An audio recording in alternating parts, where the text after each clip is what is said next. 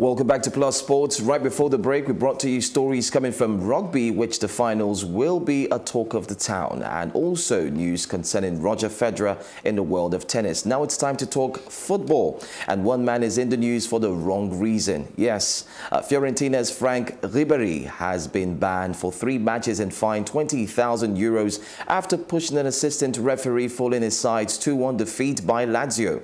A 36-year-old who had been substituted in the 74th minute uh, remonstrated with officials at the final whistle. He was restrained by teammates before being shown a red card. Ribéry, uh, who joined the Serie A club in the summer, apologized for his actions, later on taking it to uh, Twitter and explaining why he acted that way and hoping that um, they will get to understand. Now, this is one player who actually called time uh, to his career, but this time he is actually coming back to play for Fiorentina and his actions are not something to emulate. And that's exactly what has happened to Franck Ribéry. Ini, we, we actually witnessed Ribéry leave um, a very a very wonderful career in Germany and this time he's there in Fiorentina and he's actually starting off on this note.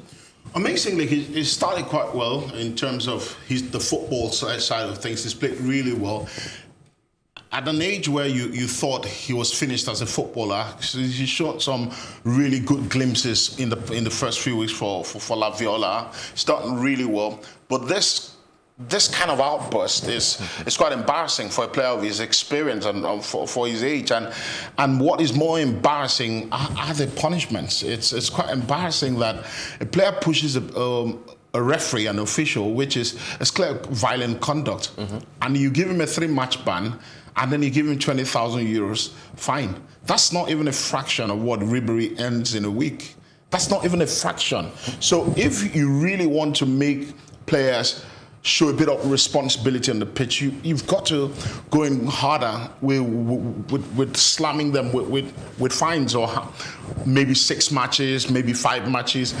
And I don't even think the money is the problem because even if you find a player at 200,000 pounds, he can afford it. It's quite comfortable for a player who had such an illustrious career. It won't be a problem. But I think six matches would have sufficed as far as I'm concerned. Six. And I'm, I'm surprised. I'm surprised he behaved like that because I watched the game and tempers were, were all over the place. The referee um, made some calls that the, the, home team didn't like. But I mean, it's football. Sometimes it goes your way and sometimes it doesn't. Sometimes it does and sometimes it doesn't. Well, it's not clear, by the way, um, who the post uh, actually uh, put up on social media by the man who has not gotten playtime uh, is uh, directed at. But hey, Unai Emery is facing a tough time right there in Arsenal. And this is one of the biggest stories trending right about now. And the story simply is that many have said Unai needs to leave.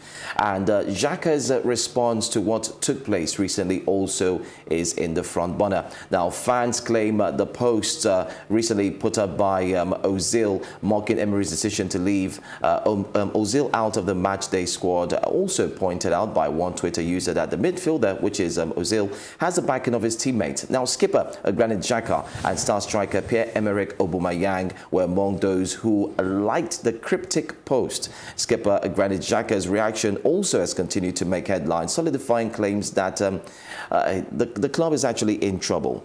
Ini, we've seen Arsenal go from grass to actually grace. Unfortunately, the grace I'm talking about here is not picking up a trophy in recent years under, of course, the tutelage of um, Arsene Wenger. But now they brought in someone whom they thought would actually do the job, Unai Emery. Unfortunately, the team is not performing at all. As a coach, as, as a manager of a team, the one thing you do not want to do is lose the dressing room. And with what we're seeing standing from outside and looking, it looks like Emery has lost the dressing room. It looks like he's not quite getting hold of things in the dressing room. There, there, are people who are not quite happy with him, with his methods, with his team selection. Some of the players are not quite comfortable. And, and when you leave a player like Mesut Ozil out, who is incredibly popular in the dressing room, mm -hmm. someone who, a World Cup winner, a, gr a great footballer who divides opinion quite obviously, mm -hmm. it, it's always going to be a problem when you do not have a reason for leaving Ozil out of the team.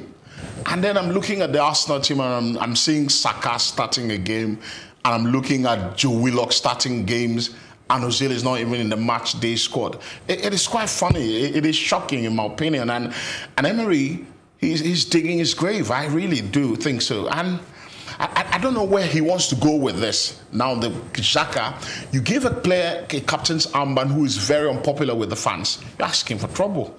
Hmm.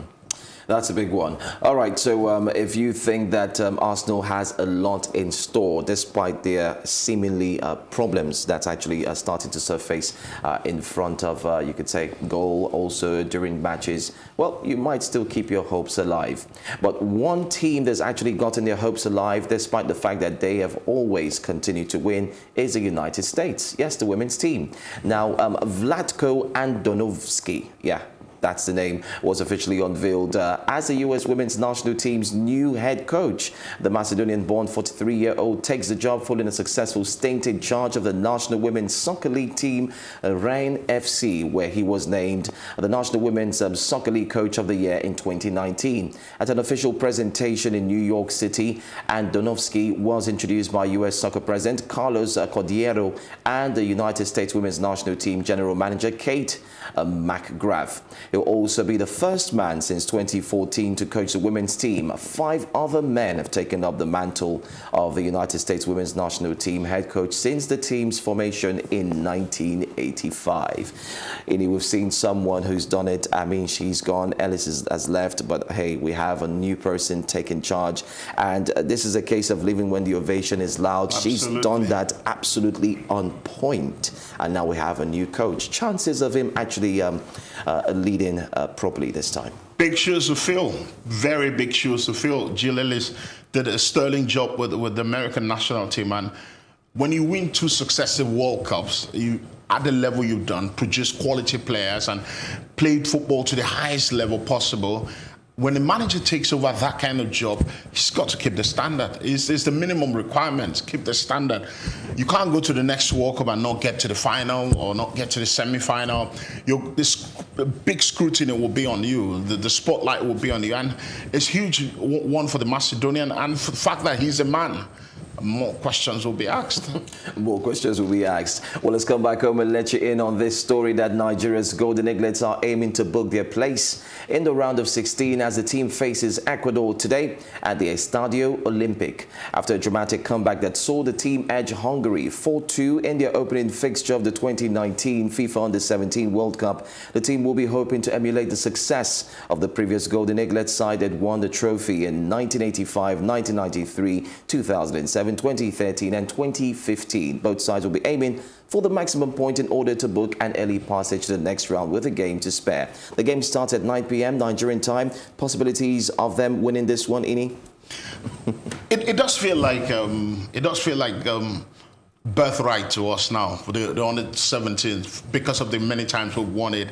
But I'm not quite very comfortable, confident uh, with these on the 17th side. I saw them in their first game, so much nerves. Players were trying to score from 50 yards. They were shooting so recklessly. And it was a disjointed performance. The good thing is that they won. Maybe that settles the nerves a little bit. But I, hope they play well against Ecuador because Ecuador played really well in their first game. And it, would be a difficult one. But I fancy the Ecuadorians, in, in my opinion, I think the, they are more coordinated than us. But I'll, I'll be rooting for this uh, for the Golden Eaglet. I'm not quite sure. Not very inspired in terms of confidence going into this one. You get me surprised, if you were not rooting for them, I wonder what you'll be doing here today.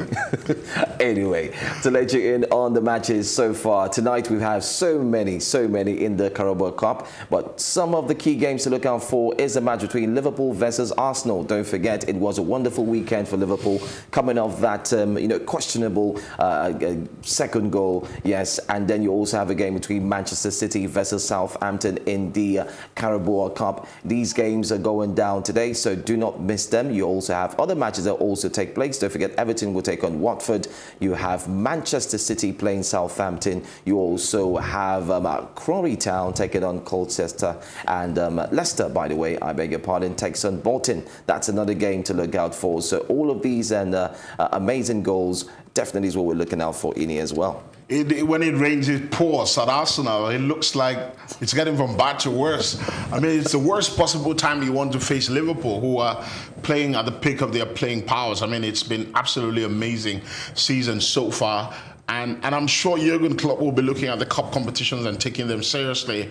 And if they catch Arsenal the way Arsenal were over the weekend, it might be a real hiding. It might be four or five. And I just hope that it, it, it doesn't get embarrassing, really. I, I hope it doesn't get embarrassing, but I fancy Liverpool to win without thinking. We hope it doesn't get any worse. Thank you so much, Ini, for being here. Thank and you. that's it on Plus Sports for today. Do not forget to join us again same time when we come back to bring to you some of the biggest stories in the world of sports. Until we do this again, stay tuned.